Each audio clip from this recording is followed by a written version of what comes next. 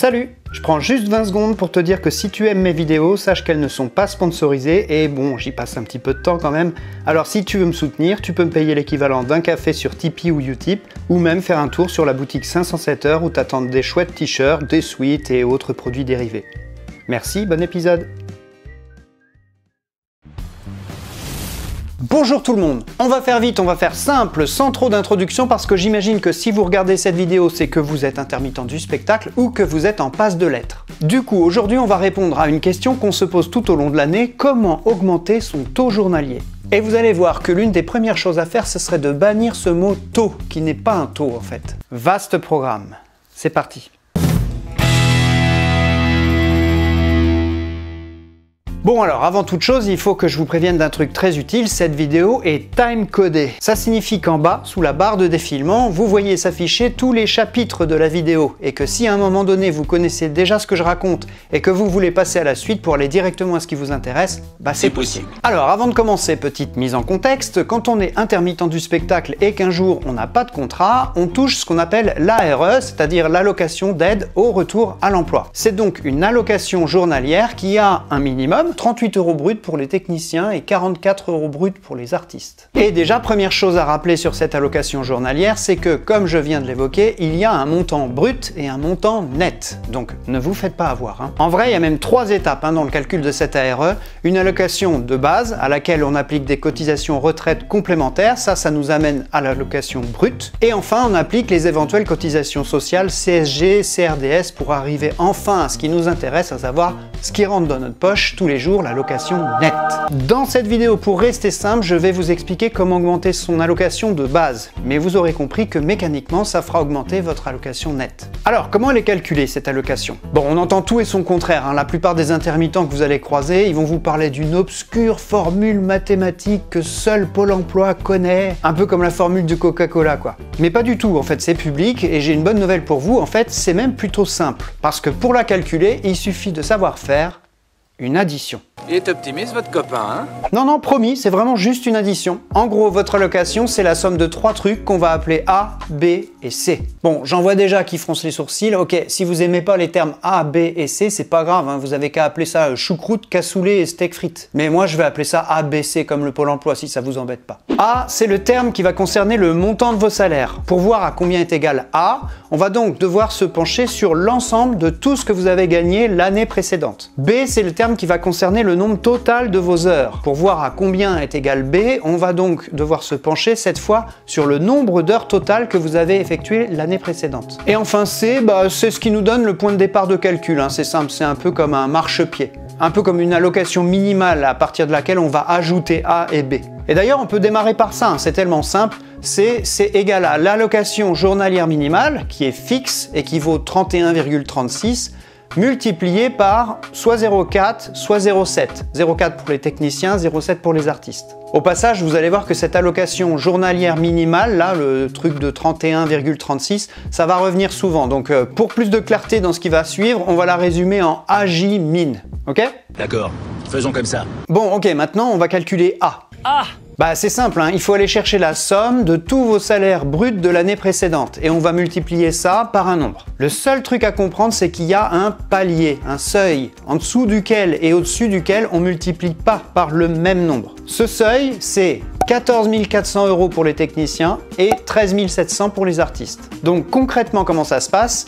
Eh ben, imaginons que vous êtes un artiste et que vous avez un salaire de référence de 14 700 l'année précédente, eh ben, le Pôle emploi il va séparer ces 14 700 en deux. D'une part, il faudra multiplier 13 700 par un nombre, par 0,36 hein, en l'occurrence, et d'autre part, il va falloir multiplier les 1000 euros restants par un autre nombre, par 0,05 en l'occurrence. Et ça donne ça, 13 700 fois 0,36 plus 1000 fois 0,05, et on divise tout ça par 5000. Vous voyez, je vous ai pas menti, hein, c'est pas compliqué. Juste cette barrière de 13 700 euros qu'il faut distinguer et on multiplie soit par 0,36, soit par 0,05. Alors pour froisser personne, on va faire le même calcul avec un technicien, mais vous allez voir que c'est exactement le même principe. Cette fois, le palier, il n'est pas à 13 700 euros par mois, mais à 14 400. Et les nombres par lesquels il faut multiplier, ça change aussi. Mais sinon, si vous êtes technicien et que vous avez un salaire de référence, mettons de 15 400, bah c'est pareil. Pôle emploi va séparer ces 15 400 400 euros en deux, avec 14 400 d'une part et les 1000 euros restants d'autre part. Dans ce cas-là, notre A, il est égal toujours à l'AG min fois 14 400 fois 0,42, plus les 1000 restants fois 0,05 et tout ça divisé par 5000 encore. C'est bon, vous avez compris la partie A du calcul, vous êtes encore là? Continue de jouer, s'il te plaît. Eh ben, dites-vous que vous avez fait le plus dur, parce que figurez-vous que c'est exactement la même chose pour B. On va encore faire une multiplication entre l'allocation journalière minimum, le fameux 31,36, et votre nombre d'heures, et là encore, il y a un palier, ce qui fait qu'on va pas multiplier par le même nombre selon qu'on est en dessus ou en dessous de ce palier. Cette fois, le palier, bah, il est en heures, hein. il est à 690 heures pour les artistes et à 720 pour les techniciens. Exemple, si vous êtes artiste et que vous avez fait 790 heures, c'est-à-dire 100 heures de plus que le palier. Vous allez devoir faire le calcul suivant. B, c'est égal à toujours l'AG min fois 690 fois 0,26 plus 100 fois 0,08. Et tout ça, on divise par 507. Encore une fois, on va prendre un autre exemple hein, pour les techniciens. Comme je vous le disais, hein, le palier dans ce cas-là, ce n'est plus 690 mais 720 heures, mais le principe c'est exactement le même. Par exemple, si vous êtes technicien et que vous avez fait 820 heures, votre B va être égal à l'AJ min fois 720 fois 0,26 plus 100 fois 0,08, tout ça divisé par 507. Et voilà, vous savez calculer votre futur taux journalier. Alors avouez, vous pensiez pas que c'était si simple, hein C'est impossible Mais pourtant, je vous jure, c'est pas plus compliqué que ça. Bon, après ça, ça vous donne l'allocation de base. Hein. N'oubliez pas qu'après, il faut déduire la part de la retraite complémentaire pour avoir le brut, et ensuite la part de CSG, CRDS pour avoir le net. Alors on a dit qu'on parlait plutôt en brut dans cette vidéo, je sais, mais juste un petit mot par rapport à ces cotisations CSG et CRDS qui vont vous faire passer du montant brut au montant net. Ces cotisations, elles sont écrétées, ça veut dire qu'elles ne peuvent pas abaisser l'indemnité journalière en dessous du SMIC. Et ça, ça a une conséquence. C'est que contrairement au montant brut qui ne cesse de monter à mesure que vous travaillerez, en net, on va avoir un plateau aux environs de 53 euros. Où à ce moment-là, votre indemnité journalière brute, elle augmentera, mais votre net, il restera bloqué à 53 euros. C'est bon, vous êtes encore là malgré tous les termes techniques là? Personne n'a fait de malaise? Personne. Mais il n'est que 11 heures. Bon, plus sérieusement, là vous allez me dire oui, mais Franck, tu nous avais pas dit que tu allais nous apprendre à calculer notre taux journalier, mais plutôt à l'augmenter. Alors du coup, comment on fait? Alors, vu que le calcul de votre taux c'est A plus B plus C, bah, c'est évident que pour l'augmenter, on n'a pas un choix infini. Soit on augmente le A, le montant des salaires, soit on augmente le B, le nombre total d'heures, soit on augmente le C. Or, si vous avez suivi, le C c'est fixe. Donc ça, on n'a pas la main là-dessus. Donc bonne nouvelle, bah ça simplifie le message. Pour augmenter le taux, il faut soit avoir de meilleurs salaires bruts, soit faire plus d'heures, soit les deux. Vous me direz, ça c'est pas une grande nouvelle, hein, on le savait déjà. Oui, mais sauf que maintenant que vous avez bien compris le mode de calcul, vous allez voir que votre taux, il va pas augmenter de la même façon selon là où vous en êtes dans vos heures et dans vos salaires. Et ça, ça nous vient directement des fameux paliers dont je vous parle depuis tout à l'heure. Pour comprendre ça, observons un petit peu les formules. Dans le cas des techniciens, dans le calcul du A, regardez, vous voyez ces deux facteurs là, 0,42 et 0,05. C'est par ces nombres que vont être multipliés vos salaires. Et ce qu'on peut observer, c'est qu'il y a un énorme écart quand on multiplie soit par 0,42, soit par 0,05. Mine de rien, c'est un rapport de 1 pour 8. Autrement dit, quand vous dépassez le palier de 14 400, chaque euro compte 8 fois moins qu'avant. Et pour les heures, ben, c'est exactement pareil. Regardez les facteurs multiplicatifs selon que vous vous situez avant ou après les 520 heures. 0,26 dans un cas, 0,08 dans un autre. Un rapport de un petit peu plus de 1 pour 3. Autrement dit, chaque heure faite avant le fameux palier compte 3 fois plus pour votre futur taux que si vous êtes après ce palier. Pour être très clair, que ce soit en heures ou en salaire, si vous voulez augmenter votre taux de façon significative, approchez-vous au maximum de ces paliers. Mais sachez qu'une fois que ces paliers seront franchis, ben ça fera plus beaucoup bouger votre taux. Pour illustrer ça, je me suis amusé, amusé, euh, à vous faire des petites courbes. Fuyez, pauvre fou Regardez, sur celle-ci, on est en annexe 8 chez les techniciens et on fixe le nombre d'heures et on fait varier le montant du brut pour voir l'impact que ça aura l'année suivante pour notre futur taux. Et qu'est-ce qu'on remarque?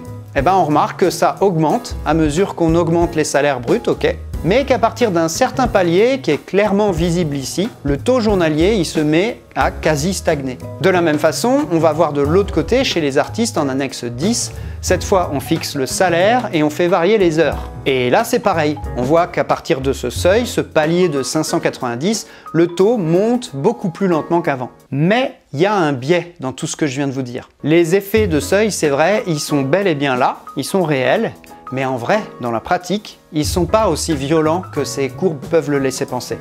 Je vous explique pourquoi. En fait, c'est tout simple. C'est bien joli de faire des simulations en fixant les salaires et en faisant varier les heures comme je viens de le faire pour vous montrer les paliers, pour les mettre en lumière. Mais dans la vraie vie, ces deux facteurs, ils évoluent conjointement. Je veux dire par là, lorsque vous faites un cachet, vous augmentez les deux à la fois, votre nombre d'heures et vos salaires de référence. Il n'y a jamais un facteur qui bouge sans l'autre. Tu comprends? Bien sûr que je te comprends.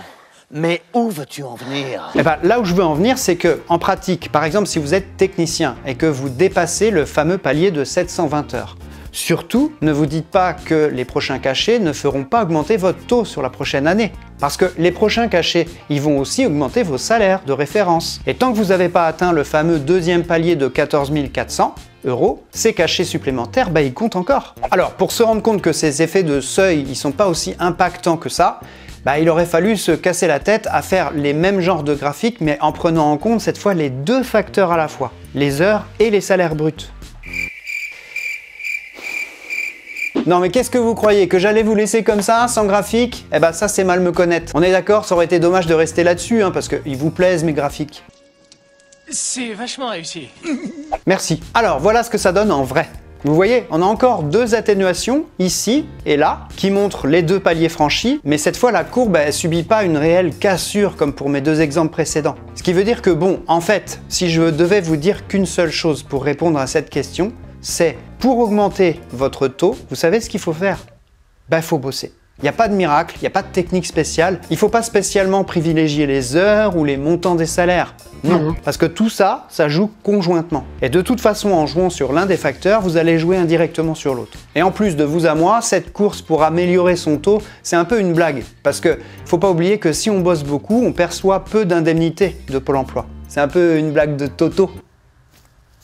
Merci Bernard. C'est une blague de crétin ça. Ce qui est certain, et ce qu'il faut surtout retenir de cette vidéo, c'est qu'il subsiste encore quelques idées reçues qui nous viennent souvent de l'ancienne convention, mais qui sont plus du tout en vigueur depuis la réforme de 2006. Premièrement, le taux horaire n'a aucun impact sur votre future indemnité journalière. En d'autres termes, si vous entendez un argument du genre « ça m'embête de prendre ce cachet parce qu'avec ce brut ça va faire baisser mon taux », ça, c'est faux. Avec ce nouveau mode de calcul, bon, nouveau depuis 2006, hein, vous l'aurez compris, on fait la somme de tous les salaires. On ne divise pas des salaires par des heures correspondantes. Donc pour résumer, même un petit cachet fait monter votre taux. Et deuxième idée reçue, l'abattement. Aujourd'hui, le Pôle emploi, il prend en compte le salaire avant abattement pour le calcul des droits. Donc si vous entendez des gens qui vous disent qu'il faut refuser l'abattement pour avoir un meilleur taux l'année prochaine, idem, ça c'est une idée reçue, c'est plus d'actualité.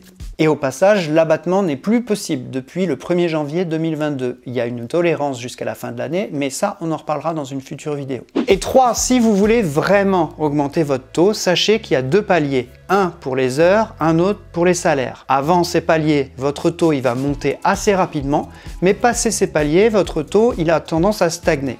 Mais dans tous les cas, il n'y a pas de remède miracle pour augmenter votre taux. La meilleure façon de booster tout ça, ça reste de multiplier les cachets et de travailler. Voilà, j'espère que cette vidéo vous aura éclairé sur cette épineuse question du taux journalier. J'espère que les non-matheux ne sont pas décédés au passage. Les non-matheux, là, dites-nous si vous êtes décédés en commentaire. Une dernière chose, je vous laisse à disposition toutes les simulations et tous les tableaux, tous les graphiques que j'ai fait pour réaliser cette vidéo. Donc si ça vous intéresse pour votre usage personnel, c'est cadeau. Allez-y, servez-vous, les liens sont en description de cette vidéo. A bientôt pour une nouvelle vidéo, c'était Franck pour 507 heures. Ciao